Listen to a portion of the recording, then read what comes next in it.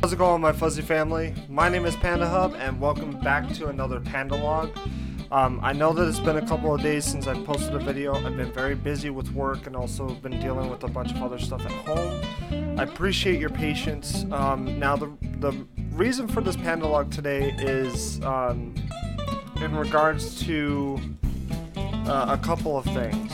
Um, first and foremost, I'm these these are my opinions. These again, they're opinions. They're they're not a matter of things that need to happen or things that are going to end up changing or anything like that. Um, and you know, it's it's just a matter also of whether or not people agree with them or disagree with them. That's up to you. Again, their opin- opinions. Um, but the the reason for the panda log today is because uh, multiple multiple factors. Okay. Okay. One, there have been a large population of YouTubers that I've noticed uh, who are starting off small who want to end up just getting sub, sub, sub, sub, sub, you know, just sub after sub after sub. And whether or not they believe that it's, you know, the sub count is going to end up causing them to somehow start gaining revenue or whether or not the sub count is, um, you know, directed towards how many views they'll get because of all their subscribers for, you know, for that one video. No, the the way that it works is one sub count uh, a subscription a subscriber does not need to subscribe to the channel or in a sense they don't need to subscribe to the channel if they're not interested in the content.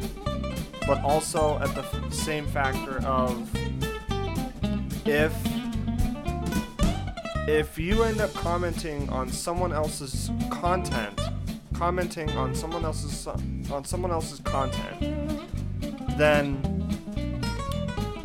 make sure that you don't try to flood in your content or your requests for more subscribers on another person's comment. Um, I've noticed recently that whenever I comment on somebody else's uh, on somebody else's content, um, like today I ended up commenting on someone's video, and you know I thought it was really interesting. They were they were playing um, Injustice 2, and they you know they were doing a, a really neat combat and everything else. And then this person came in and asked if there was any way that i could somehow get someone uh, you know get some people to notice their channel or to get you know people to recognize their channel. I, I can't remember. I'd have to look up the comment of what they said 100% but to, to basically put it into a gist of things they requested that I had the means of trying to get more people to view their content, to support their channel, and to get it up there. I don't mind helping and supporting other people's channel, including small ones that are just starting off, you know, when they have like 10, 15, 20 subscribers, 25. It doesn't matter. I'm willing to help, but the thing is is that if you're really interested on trying to grow your community, grow the subscriber count, you know, then what you need to do is you need to be yourself, okay, first and foremost. You need to just be honest and true to the content that you're going to be creating, whether it be video games, uh, let's plays, or any other type of content, whether it's cosmetics or um, nails or even just goofy videos, you know, whatever whatever your preference is. Um, so that's that's the first thing. The second thing within this category um, of subscription count is you need to you need to be able to interact and be genuine with your community. You need to be able to go out even during live streams, if you can't reach out to everybody, at least acknowledge people. Ask them how their day is. Ask, you know, what their type, what their favorite type of hobbies are. You know, there's just different things that you can do to try and get involved with your community, including on the other social media aspects. You know, like Jacksepticeye has a request for seeing some fan artwork from his subscribers, from his community, to see what they can create. And it's, you know, um, he has his own special hashtag, um, but I'm just using him as an example of trying to get your community involved and, and also trying to partake in spending time with your community. Um, but the thing is, too, is that you have to remember that not everybody's going to watch that content. Not everybody's going to be interested in the same type of video. There's always going to be one video that someone's going to be like, well, I heard there was crappy reviews, or I've seen this on a, another person's channel that I really like. Um, I mean, it, it all depends on how they view the content and also if they're even interested because you can't you can't just you can't just expect people to be like okay well i'm new to the youtube community i'm u- new to the the the aspect of what is doing youtube which is creating content and posting it up for other viewers to watch. And there is the possibility that other people could end up being interested and if they like the content as well as the consistency or even if they like you as a person they can get you they can subscribe to your channel if they're interested. And th- that's the thing is that you know sub for sub i did that okay and don't get me wrong i don't have a problem with it i don't have a problem with how many subscribers i have i love the community that i have i love you guys for being a part of the community and for watching this video today. You know, and again, these these points that I'm making are opinions. These these aren't to be taken to heart. These aren't saying, well, you guys shouldn't do this. You shouldn't expect so much from people to subscribe or anything like that. That's not what I'm saying. What I'm saying is if a person goes onto another person's channel and onto another person's content and requests that other people check out their content, then that's that's in a sense kind of showboating over someone else's act in a sense. If, if that makes sense, because you don't want to end up showboating over someone else's work. Like basically saying, well, my stuff is either just as good or even better I don't think that whatsoever. I think my my stuff is inadequate compared to so many other people. So many. Okay?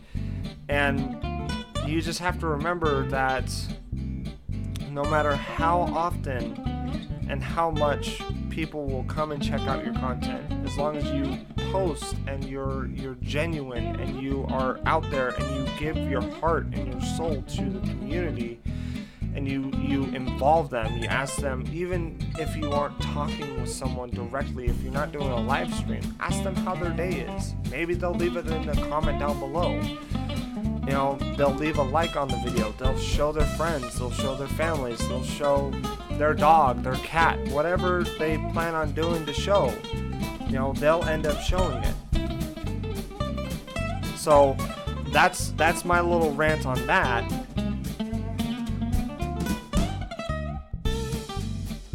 I'm to go into subject number two. So, subject number one, we're to call it subcount. Okay. Subject number two is, um, you know, I, I wanted to go ahead and kind of put it out there for the sub talk with Panda. I I have been reaching out to plenty of you guys to try and do a sub talk. It's just a matter of trying to find the time to be able to record maybe a game. Um, I, I did receive mention and some suggestions from uh, William Smoke about the whole idea of okay, so you know maybe you should ask them this instead about your channel.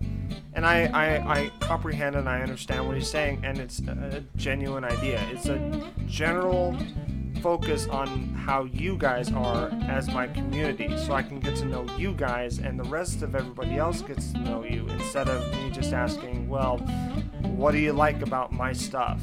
And that's not what I wanted it to be, but at the same time as well, know, it is kind of how I wanted to view it because I need to know a general idea of what I can do differently or if I'm doing okay in the sense that you guys actually enjoy the content.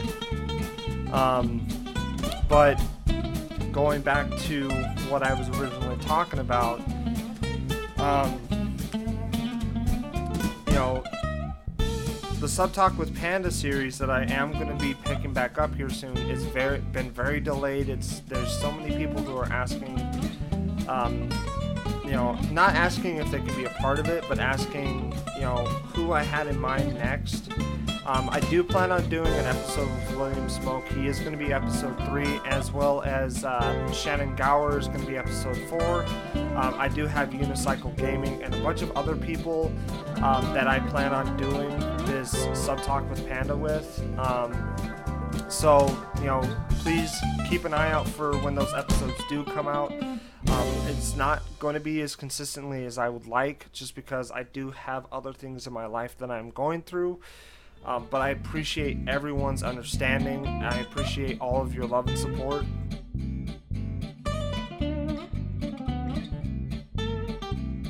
So going on to subject number three, though, and you know, first off, we are almost at 430 subscribers.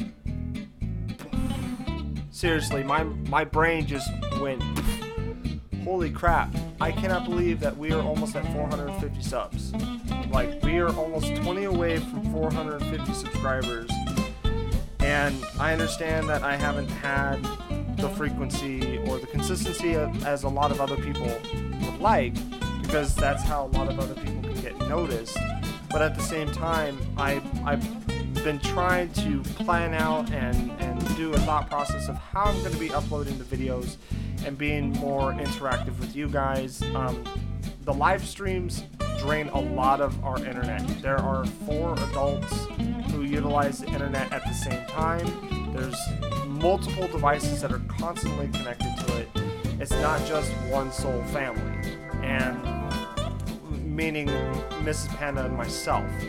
So with the constant usage, it's being much more of a drain. So sadly to say, those random live streams that I've been doing just out of the blue away from the Thursday live streams are going to be cut out. I'm no longer going to be doing any random live streams. I may or may not do a live stream on a special occasion depending on this, the type of occasion. And if it is special, I will end up letting you guys know ahead of time. That way, you guys have a little bit of awareness instead of just, oh, well, Panda's sub, you know, Panda's live streaming. Let's go ahead and check out what he's playing. It was all of a sudden out of the blue. It's not a bad thing, but it would have been nice to, you know, been informed type thing. Um, and in regards to the live stream Thursdays, I'm going to be cutting it down to an hour and a half. It cuts down a lot of the data usage. It cuts back on a lot of the the because I notice the further and further along that I get through a live stream, I start running out of stuff to say, or I just start getting so wrapped into a game that I'm playing that I lose focus on talking with you guys.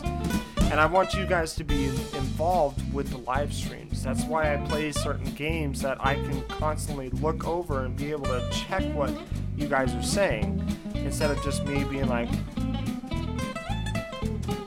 okay. I'm watching the game and I'm just playing it. You know, and I, I don't want to be that type of YouTuber that is like, especially if the channel ends up getting up to the thousands or the hundreds of thousands or even the millions. Not to say that I have high expectations or low expectations, but at the same time, I don't I don't want to hold my breath for the possibility that others are going to be interested in in my content compared to the next person you know?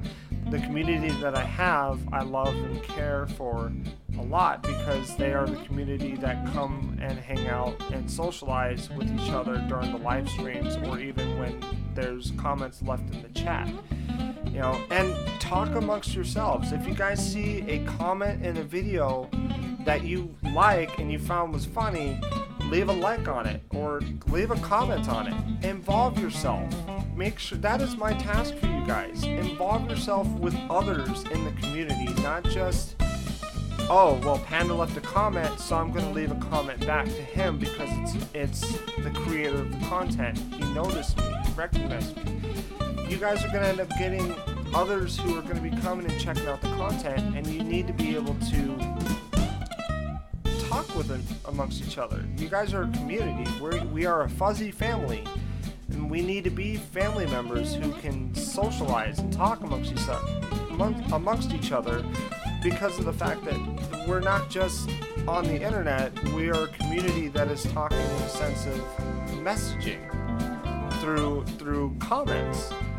You know, and I I appreciate everybody's positive feedback I appreciate it. I, I, I'm so cherish, you know, I cherish everything that you guys say about the content. It's great. It's great work. Keep up the hard work. Keep up the good job.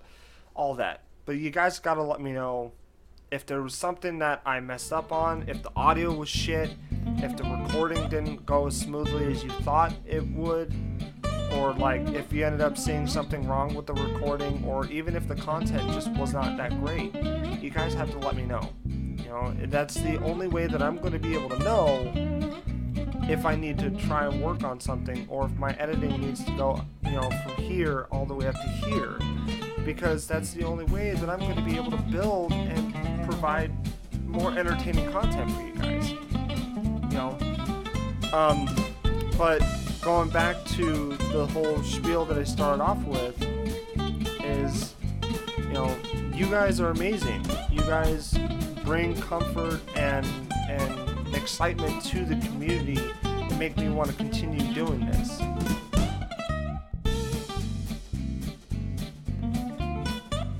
Now, the fourth and final thing that I want to talk about is Mamo and I are going to be starting something here shortly. Mamo, did you want to step in over here really fast and kind of add in two cents with me as, as we're.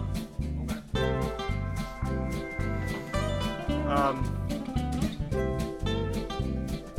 so this is Mamo. Um, Mamo, a couple days ago I had come to you and I talked to you about the possibility of doing a podcast for a Dungeons and Dragons game. Yeah. Is this correct? Yeah, it is. Yeah. So, what what were the the kind of stipulations that I had set for this this campaign? Uh, the campaign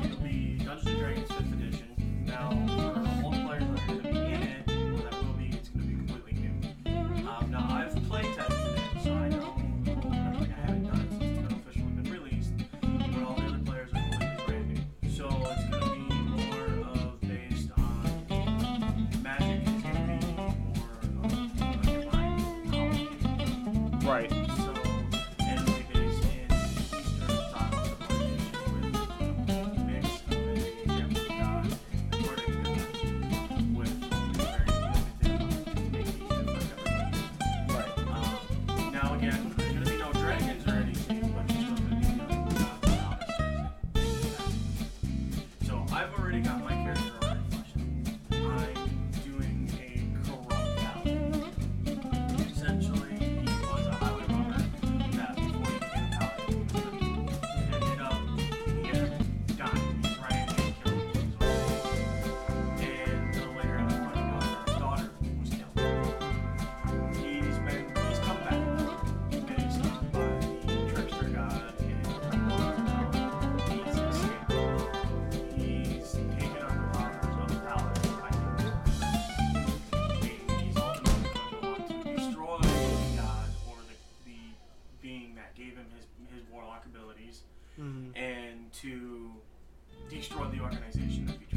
Right.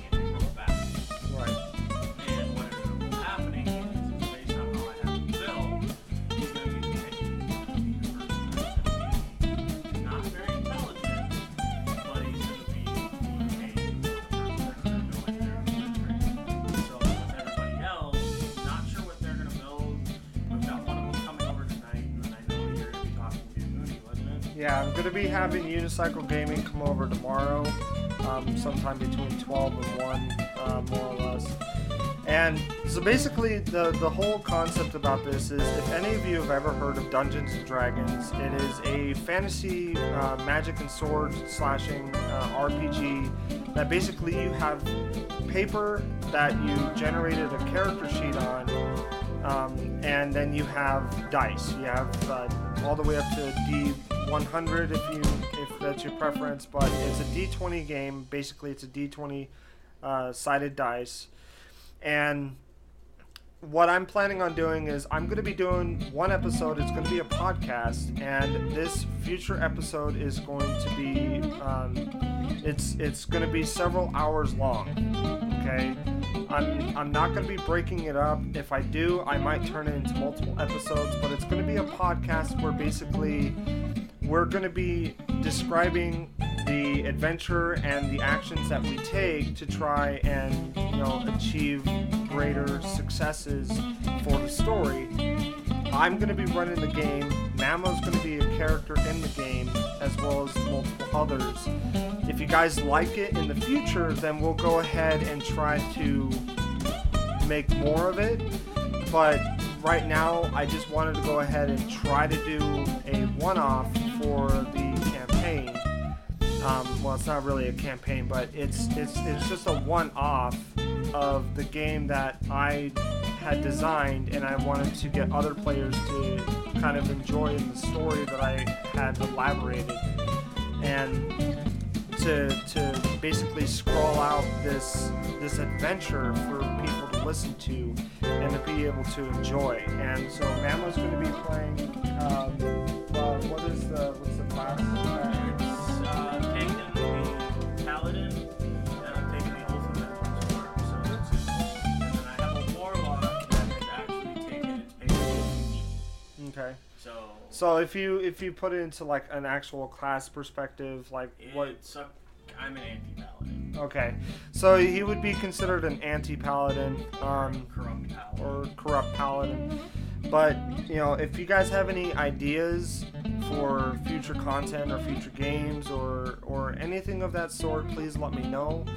Um, thank you, Mamo, for adding in some you know information on it, and hopefully you guys actually enjoy the content.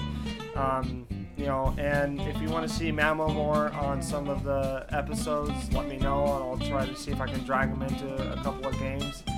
Um, but Anyways, thank you guys so much for watching this episode today. If you liked it, please go ahead and hit that like button down below. Also, if you haven't joined the Fuzzy family yet, go ahead and smack that paw.